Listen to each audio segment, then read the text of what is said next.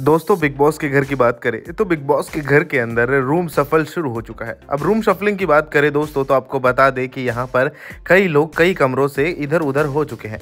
आखिरकार कौन किस कमरे में गया है इसके बारे में सबसे पहले आपको बता देते हैं। तो हाल फ़िलहाल रिपोर्ट कार्ड बीबी का तैयार हुआ है और बीबी रिपोर्ट कार्ड के अंदर मकान नंबर एक जिन कंटेस्टेंट्स ने एंट्री ली है उनका नाम है मुनवर मनारा अंकिता अभिषेक इसके अलावा समर्थ और ईशा। यानी कि वो हो चुके हैं दिमाग के कमरे से बाहर। और अब दिमाग के कमरे में जो मेन लोग गए हैं वो हैं विक्की भैया, अनुराग, सनी, अरुण और सना।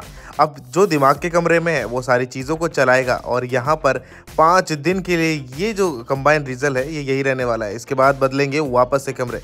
और बाकी बच्चे सदस्य अब जा चुके हैं सीधा मकान नंबर तीन के अंदर, जिसमें हमें नज़र आने वाले हैं। कोई और नहीं, बल्कि घर की वो कंटेस्टेंट्स जो कि कुछ खास कर नहीं रही है। जैसे कि हम बात कर रहे हैं रिंकू जी की, नाविद सोल की, इसके अलावा बिग बॉस के घर के अंदर जिगना जी की खानजादी की। तो वो देखना होगा कि नील ऐश्वर्या को जो कि जा चुके हैं अब दम के कमरे में, वो भी क्या कमाल करते हैं। कमेंट करके अपनी राय बताएँ कि आपका क्या कहना है, किसे किस कमरे में होना चाहिए था।